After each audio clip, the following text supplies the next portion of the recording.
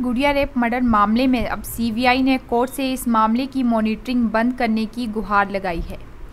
Court में CBI ने इसको लेकर एप्लीकेशन दायर की थी, जिस पर आज कोर्ट में सुनवाई हुई।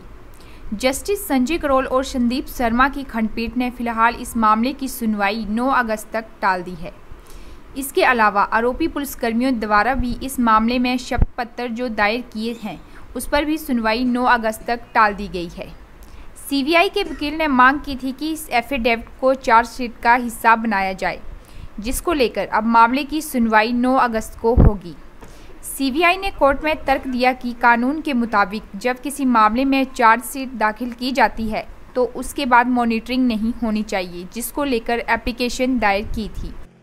देखिए सीबीआई ने एक एप्लीकेशन हाई कोर्ट में मूव की थी जिसमें हमने ये कहा था कि अब ट्रायल शुरू हो चुका है एक केस में ट्रायल शुरू हो चुका है और एक में शुरू होने को बाकी है। तो जो मॉनिटरिंग है अब हाई कोर्ट की पावर में नहीं है अब हाई कोर्ट इसको ख़त्म मॉनिटरिंग ख़त्म की जाए। हाई कोर्ट ने ये कहा कि इस एप्लीकेशन के ऊपर हम सुनवाई नौ अगस्त को करेंगे।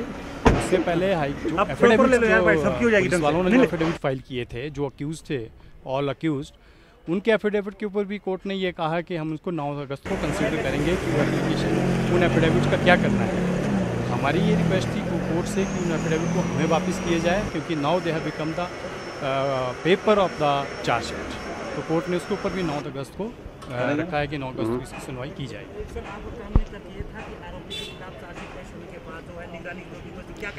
हाँ। हमारा इसमें ये तक था कि हाई कोर्ट में जब चार्जशीट फ़ाइल हो जाती है तो कानूनी तौर पे उसकी मॉनिटरिंग नहीं हो सकती। ये हमारा तर्क था। हाईकोर्ट ने इसको कंसिडर किया है। बाकी फर्दर आर्गूमेंट्स के नौ अगस्त को होंगे। सर नौ पुलिस वाले उनको लेकर ट्रायल शुरू होने वाला है। हाँ अभी शुरू होने वाला है अभी शुरू हुआ नहीं है। और उस पर भी नौ अगस्त को सुनवाई होगी। ना उसके ऊपर नौ अगस्त को एफिडेविट जो उन्होंने हाई कोर्ट में दिए हैं उसके ऊपर नौ अगस्त को सुनवाई होगी। शिमला से योगराज शर्मा की रिपोर्ट।